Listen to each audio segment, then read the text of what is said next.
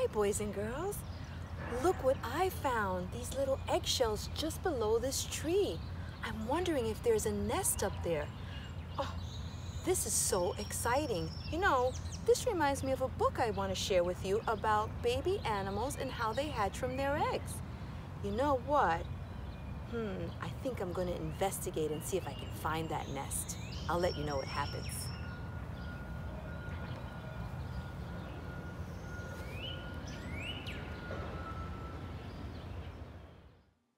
Guess what is growing inside this egg? By Mia Posada. This egg sits snugly on its father's feet. He warms it with his body's heat. Under his feathered belly, it's cozy and warm, safe from the icy Antarctic storm. Can you guess what is growing inside this egg? A penguin. How adorable. This baby penguin or chick lives in Antarctica, one of the coldest, windiest places on Earth. When it is hatched, its mother returns from the sea to help care for it.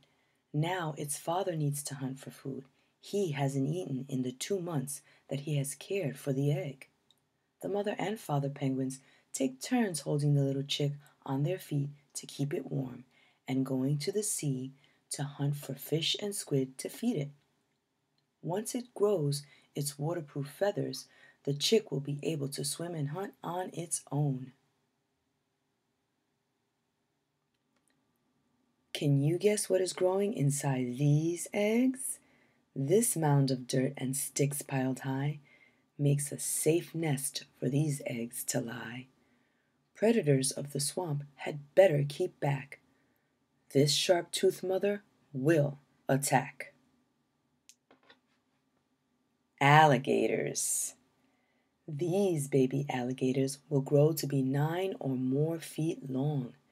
They spend most of their time in the swamp water, floating on the surface or diving below like a submarine.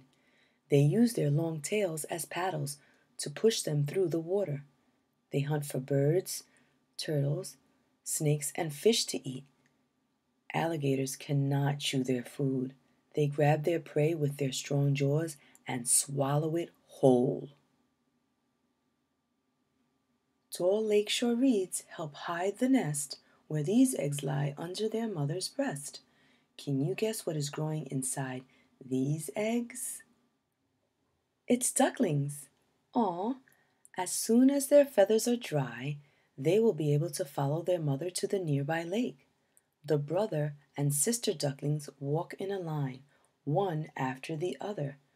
Ducklings do not need swimming lessons. They are born already knowing how to swim. With their webbed feet, they paddle through the water. Soon they learn to feed on worms, water plants, and insects just below the water's surface. Their mother crawled from sea to land to bury these soft eggs in the sand. Can you guess what is growing inside these eggs? Sea turtles. The tiny baby turtles hatch under the sand. They use their flippers to push themselves up to the surface of the beach. Leaving the nest at night, they must find their way to the water on their own. It is a dangerous journey as crabs and birds like to eat the tiny turtles.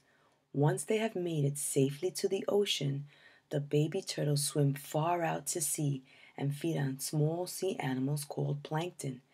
As they grow, they begin to feed on larger things, such as jellyfish and seaweed.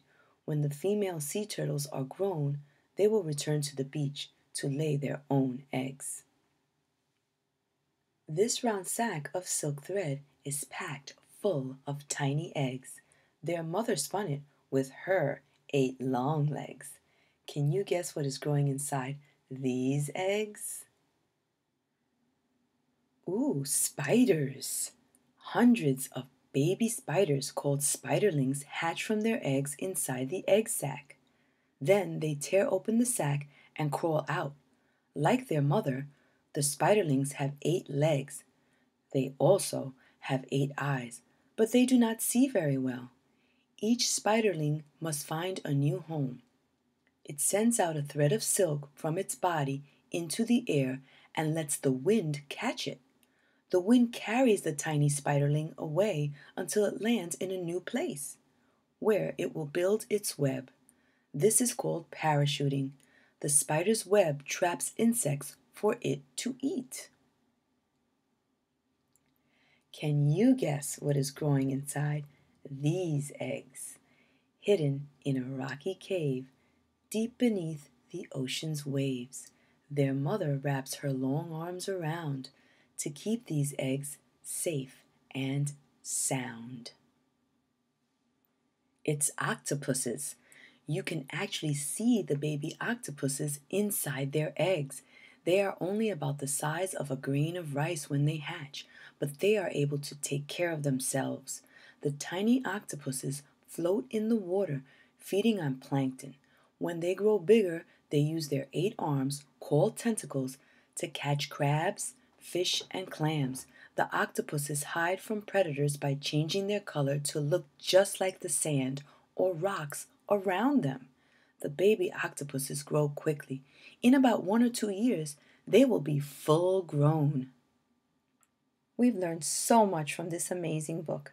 And on this page, we're going to see the actual size of all the eggs that we just learned about.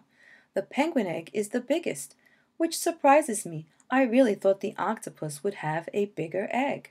The sea turtle's egg is nice and round. The duck egg and the alligator egg have an oval shape, and the spider is the smallest egg of them all.